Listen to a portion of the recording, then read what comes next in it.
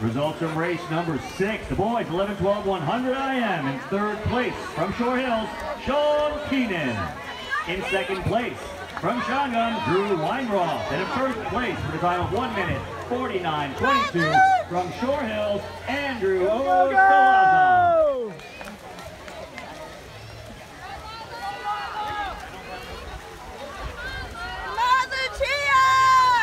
Lucia! Results from race number seven. The girls 9, 10, 100 IM. Go, In Lucia! Go, go, go!